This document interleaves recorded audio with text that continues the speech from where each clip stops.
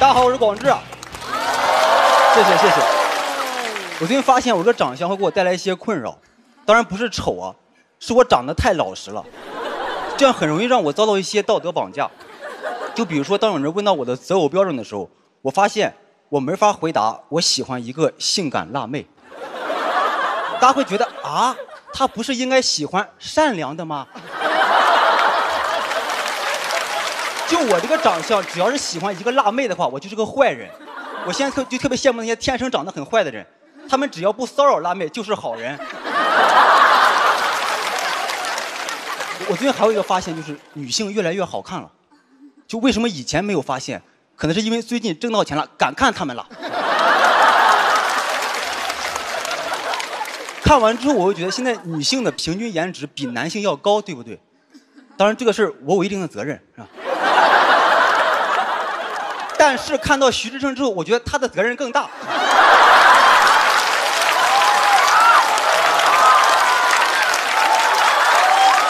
长得越差，责任越大。当然，出现这个局面不是我们男生不求上进，而是你们女生进步太快了。你就像我每次出门前照镜子，我看着我刚用洗面奶洗完的脸，再闻一闻我刚换的衣服，还散发着洗衣液的清香，这个时候我都会觉得，我不能再打扮了。再打扮下去就有点过分妖艳了吧？你要相信，我们每个男生出门之前都认为自己是全世界最靓的仔。我们也是出门之后才知道，好好像邻居家的狗都比我们精致。所以每当有人说我不修边幅的时候，我都特别的委屈，因为那已经是我努力精修过的样子了。就那一刻我才明白，就在背后偷偷的努力，看上去毫不费力，是这个意思。但其实我们男生也有外貌焦虑。我身边最快乐的一个人。就是一个单身多年的小胖子，他是那种看见美食比看见美女还要开心的人，完全没有身材焦虑，然后也不想着谈恋爱，但他就是快乐，就他的那种快乐就让你感觉就是生活拿他没有办法。就一般这种敢跟生活正面对抗的人都是我的偶像，但结果前两天我的一个偶像跟我说他想减肥，我问他为什么，他说他想谈恋爱。当时听到这句话，我的感受就是。我塌房了，他竟然要谈恋爱，没想到你胡子拉碴的竟然也要取悦女性了，跟绿茶有什么区别？你这个胡茶婊！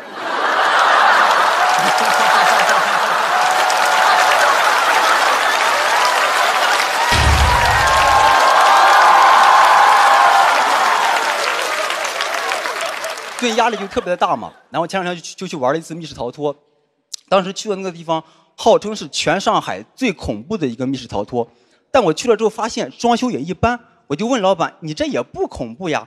老板说：“一个人五百九十八。”我说：“你等一会儿，这有一点吓人了。”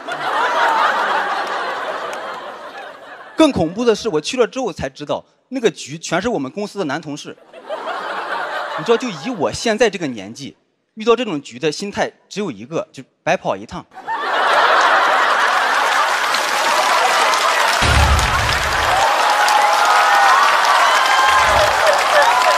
这么说，的的是很真实。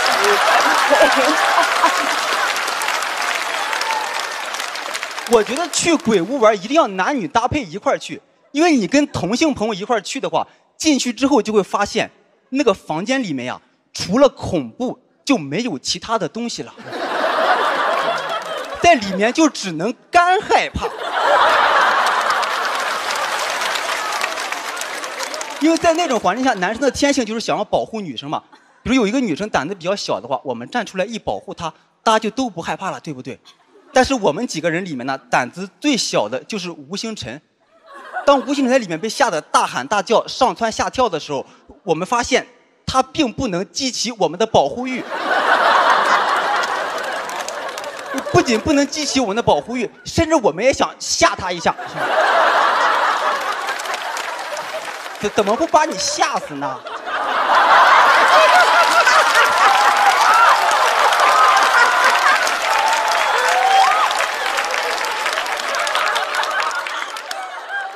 他当时是扎了一头脏辫进去的，进去之后他的脏辫直接被吓开了。你们可能有人见过他，他那个人怎么说？头发又长，长得又丑。当时整幅画面看上去，他比那个鬼更像鬼呢。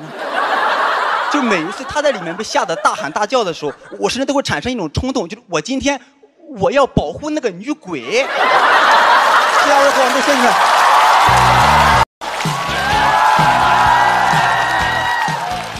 大家好，大家好，我是徐志胜。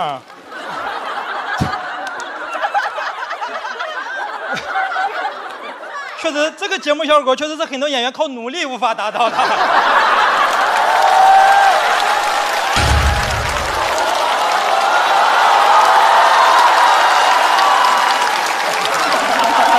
下就开了，对啊，住啊。确实，节目播出之后收到了一些好评啊，全是夸我丑的。那，我说我研究生刚毕业，大家也不信，还有人给我发微博私信说：“你给我看看你的学信网截图。”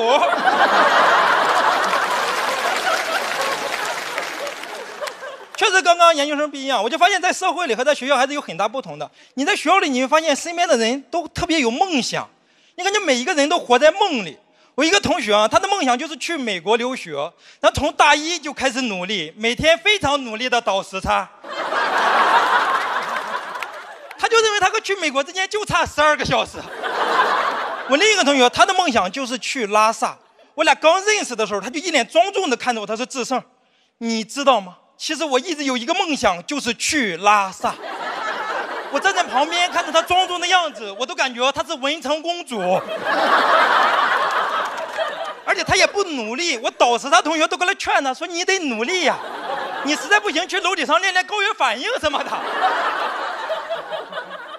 但他别喜欢宣扬他的梦想，经常跟我说：“说志胜，你知道吗？”我说：“哥们儿，我知道，你有一个梦想是去拉萨，现在我都有一个梦想，就是送你去拉萨。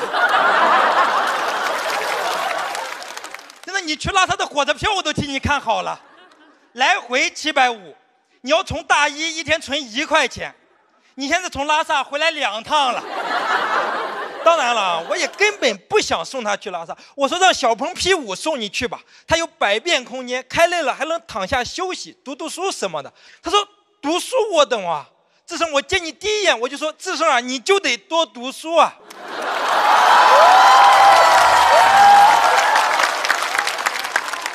是你会发现进入社会就不一样了，进入社会真的很难。找工作就很难，你在学校里还会能经常听到别人安慰你说：“哎呀，志胜没事你们年轻人的机会是无限的。”但是当你出来找工作，你就会发现，年轻人的机会确实是无限的，但是年轻人也是无限的。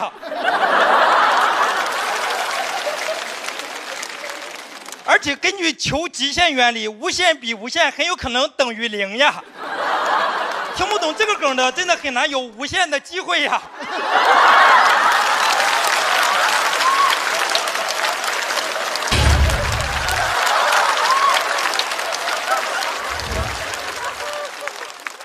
找工作真挺难，而且招聘要求上一个个还在那写着要求什么五官端正、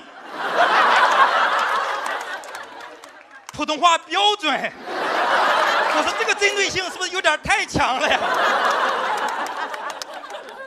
哎呀，去年了，我还是找了一份实习工作，是在一个教育机构里当初中物理老师。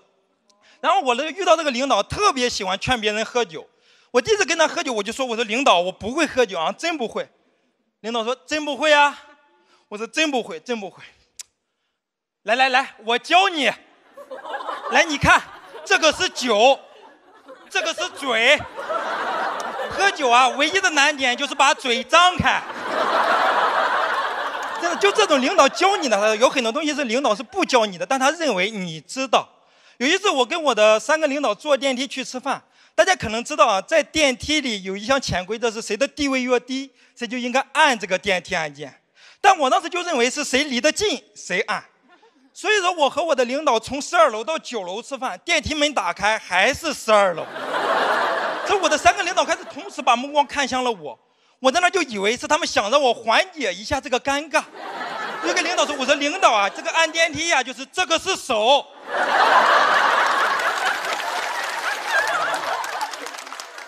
这个是按键。按电梯唯一的难点是你要用手给这个按键一个压强。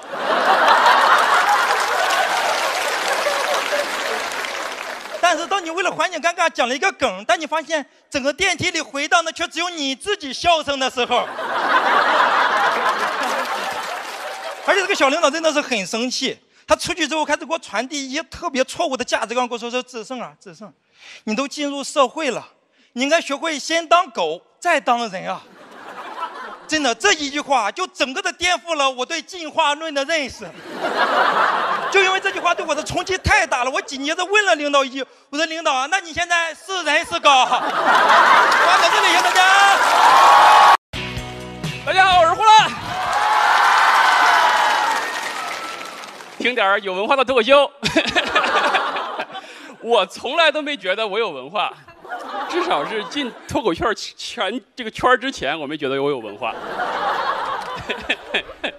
今天，今天我想聊消费，真的讲一个真事儿。我的朋友王建国，王建国不爱车，不爱表，甚至不爱消费。最近上网被卖菜刀的盯上了，喜欢上了买菜刀跟磨菜刀。他前两天跟我说：“他后来我昨天磨了一宿的菜刀，后来发现磨反了。”我说：“你是磨成剑了吗？”他说：“哎呀，我就是喜欢磨。”我说：“是磨刀霍霍向博阳嘛。”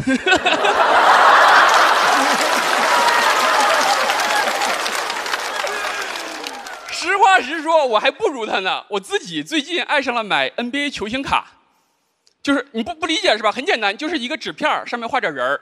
我周围朋友也不懂，哎，你们可能想不到，最贵的那种卡片，一张签名的卡片好几百万美元。但我买的都贼便宜。其实我不知我不懂为啥一个签名能卖这么贵。二手网站上面有卖我签名照的，三十七块七，从五十块钱降下来的。五十块钱我还收藏了一下。然后呢，二手网站动不动兴冲冲给我发那个链接，你关注的宝贝又降价了。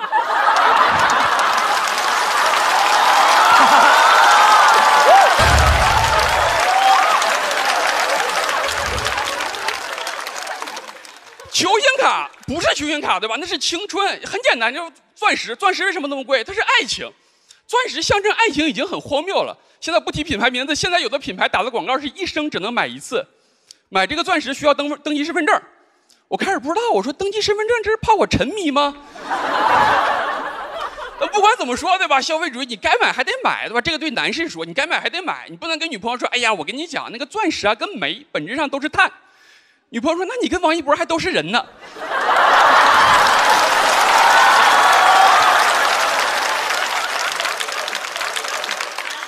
其实一样，商家其实就是把一块钱的商品赋予两块钱的意义，然后三块钱卖给你。我们脱口秀不也是吗？我们不值钱，但是快乐很贵啊，所以票就很贵嘛。所以现在有观众抢不到票，就会说那种非常伤人的话：“说呼兰两年前在上海两块三毛三随便看。”我我是说了脱口秀之后很久才接受了看我需要花钱的这件事儿。我之前白领程序员你随便看。再上一次看我需要花钱，还是我满月的时候。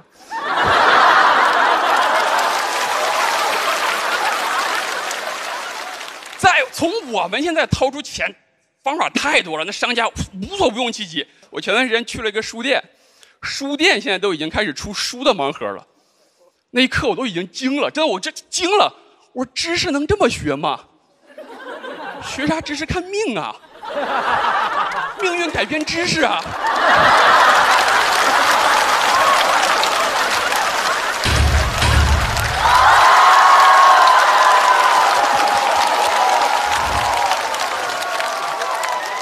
我现在就是不敢耗任何的东西，爱好太费钱了。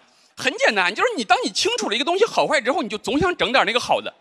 什么摄影穷三代？为啥？就是一起出去摄影，人家掏出个单反，咔咔咔在那拍，你拿出个手机在那，哎，哎，他不像话。我之前看过潜水，我想什么时候潜水好玩的时候让我玩潜水。我看了一下潜水装备的价格，我觉得人类就应该生活在陆地上。后来他说还有更可怕，他说现在有潜水摄影。我说这得穷多少代？有爱好不可怕对吧？可怕的是喜欢坚持因为贵在坚持。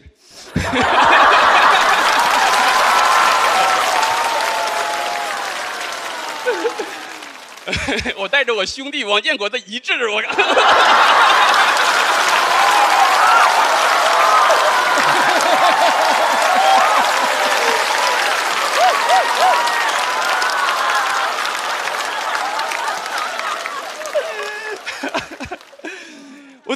我最近这一年，其实我特别喜欢看直播买东西。我在抵抗了一阵子消费主义之后，我也投降，打不过就加入嘛。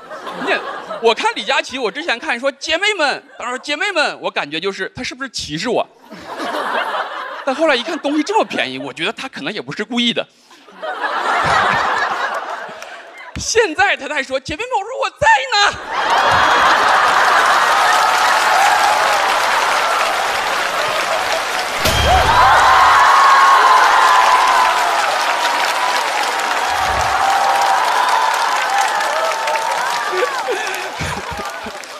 我觉得现在直播真的就是经济学奇迹，你知道吗？就是很难看到这个东西，就是顾客和商家都觉得自己赚了。我说不对啊，有赚有亏啊。你问他们说那谁亏了呢？他说没看直播的那些人亏了。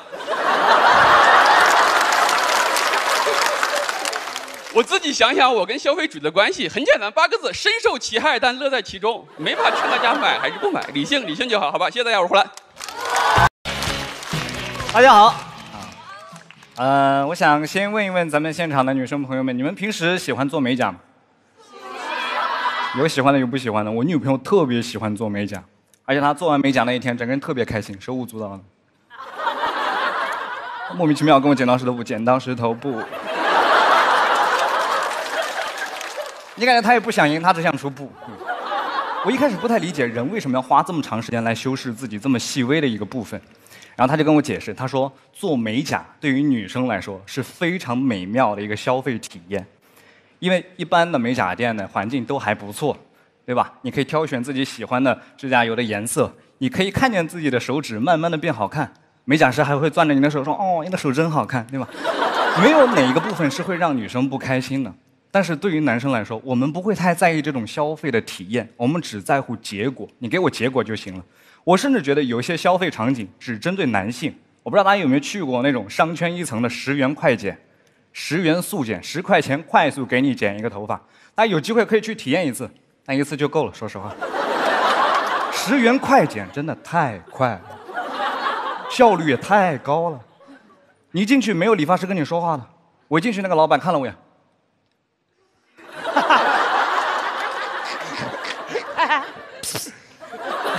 朋友们，我上次用跟别人打招呼还在高中的时候，让同桌把卷子给我看一眼，我就坐下来。一般在这个时候，大家可以提自己的需求，对吧？给我来个墨西哥。但是在这种十元快剪，你没有这样的权利，是老板告诉你你能剪什么样的发型，因为他只会两种，光头和寸头。不然为什么快呢？一个男生突然要剪光头和寸头，是要下很大的决心的。我还在那考虑这件事情，老板的推刀已经开始推我后面的头发了。我说老板，你稍微等一会儿，我还没有想好。他说没有关系，无论你选哪一种，我都要推你后面的头发。我说那你上面好歹给我留一点。他说行，寸头是吧？不知道为什么这个时候寸头就是最好的选择。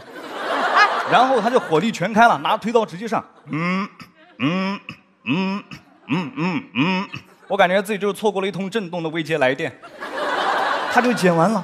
非常的快，非常的迅速。但是我注意到一个细节，我在进到这家理发店的时候，我发现它跟一般的理发店不太一样，它没有洗头的那种水池，它连喷壶都没有。这家店没有一滴水。我在想他怎么清理我的这些碎发。这个时候，老板从天花板上拽了根管子下来，再把开关打开，那是个吸尘器，朋友们。是是这样。有谁要在天花板上吊一个吸尘器？你们有被用吸尘器吸过自己的头吗？你们知道那是一种什么样的感觉吗？你会觉得我脏了。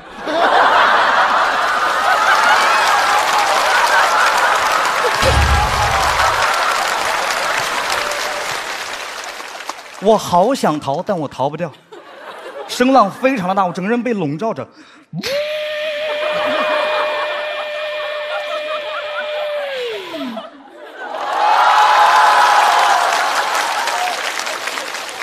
我被吸完之后，我整个人瘫坐在椅子上。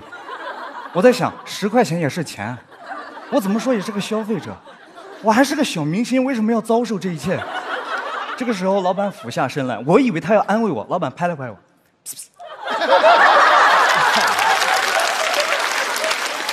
让我把钱付了。我付完钱出去，我女朋友在对面一家美甲店做美甲，她还没有开始。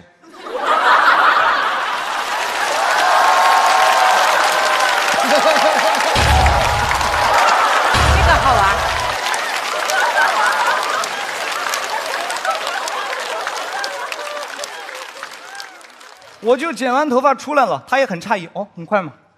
什么感觉？我说便宜，但没有尊严。所以我现在我再去到一般的理发店，那种剪个头发七八十块钱、上百块钱理发店，我没有觉得特别的贵，我觉得哦，我也太开心了。这帮朋友也太 nice 了，对吧？你还没有进到门店里面，他们已经开始跟你打招呼了。先生，一位是吗？一位是吗？好的，娜娜一位冲水，娜娜就在那儿。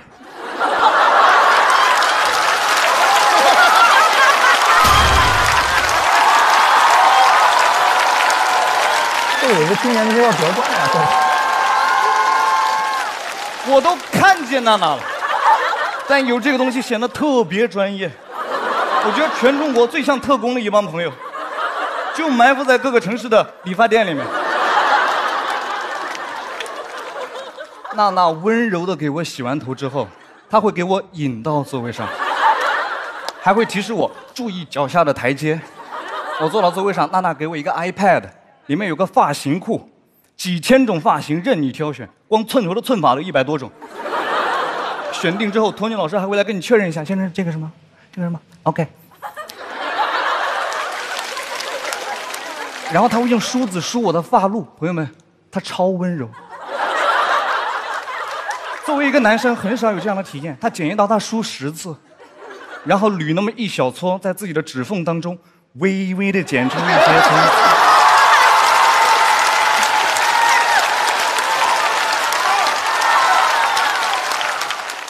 再把我的头摆正，看一看镜子里，没有任何区别。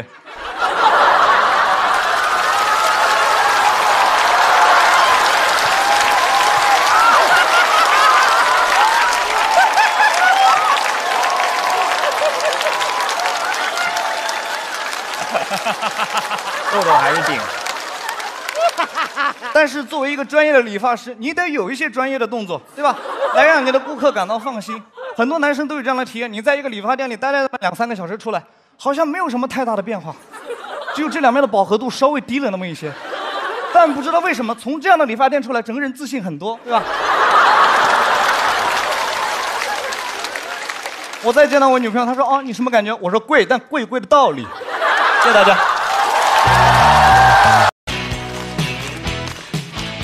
大家好，我是童漠男。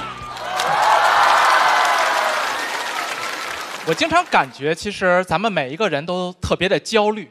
你像我作为一个英语老师，在过去连签证都停办了的一年当中，从事这个出国留学培训考试教育，真是给我焦虑完了。我们校长都要去房产中介里做兼职了。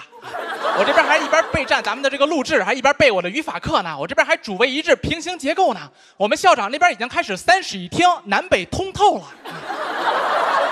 我学生也很焦虑，就你感觉说好的留学啊，变成了留在家里上学，两年的网课呀，还没有来得及动身过去呢，学位证已经要寄过来了。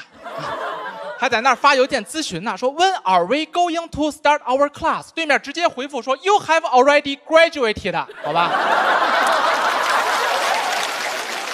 ？Congratulations。By the way，啊，Please stay in your country。There is no need to come here。学生的计划被打乱啊，学生家长更焦虑。我们甚至都要开一个公益的课程，就叫做反焦虑家长营。家长还都很殷实，都是 CEO 企业高管，所以在我们这个课堂里，你能看到，可能是我们教育界最温暖人心的一个场景。一个还在为租房发愁的青年教师，给一群亿万富豪普及如何克服人生中的焦虑。那课上的呀，我竟然都上出了一种给泰森。示范防身技巧的感觉。我在课上还问呢，说为什么要来选择我们的课程啊？家长说，童老师您有所不知啊，走向成功，我们有的是心得，但是要说面对绝望，苦中作乐，您是我们所有人的老师。说到动情处都煽乎起来，说大家说是不是啊？面对焦虑，我确实很有心得啊，因为我童年其实学业都非常的坎坷。我小时候最大的焦虑就是我有特别严重的注意力缺陷，现在也叫 ADHD 啊。我当年上课都很费劲，我不知道大家有没有那种感觉，就你在课堂上明明想集中注意力听讲，但是你的思绪就能飘散到九霄云外。当年老师在台上讲着狐假虎威的寓言故事，我在底下就漫天的联想。我想着狐狸带着老虎大摇大摆走在森林里，其他小动物都吓坏了，纷纷逃窜，只有那个大象不为所动。狐狸跟老虎解释说：“这哥们儿得多沉啊，想跑他也跑不动啊。”老虎心想说：“是啊，这得多沉啊，想跑他也跑不动啊。”旁边打猎路过的曹冲兴致勃勃说：“嘿，我倒要称称这个大象有多沉。”伐木造船刚推到海上，准备开始称，宝剑又掉水里了。在那琢磨，说是这儿掉起的哈，底下又窜出一个精灵，说你掉的是这把木头的还是金子的呀？等我缓过劲儿来，台上站的已经是数学老师了。我们班主任也很焦虑，把我和我妈都叫到他的办公室，说莫南这个知识都学杂了，中国寓言故事被他霍霍的也差不多了。一定要去看心理医生。注意力缺陷这个病因很复杂，你得找找找，找到了咱们才能对症下药。你说是不是啊，莫南妈妈？我妈一个机灵说：“又抱歉，老师，您刚才说了什么？” 老师在那儿，说来也巧，找着了。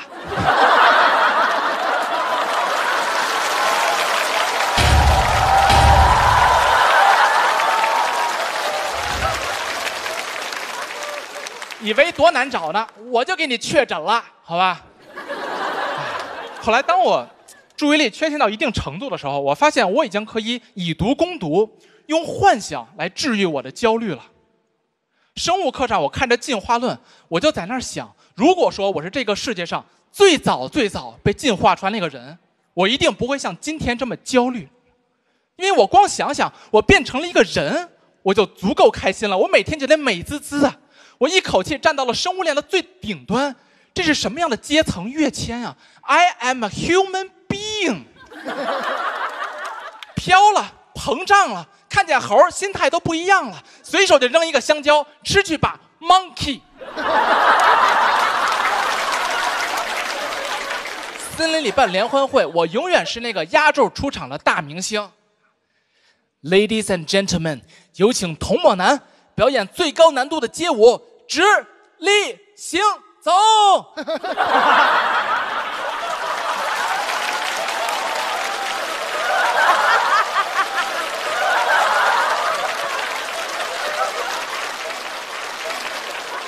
那个时候啊，我相信我内心一定只有一个想法，我就要心满意足的做个人啊！谢谢大家，我是童木兰，谢谢大家。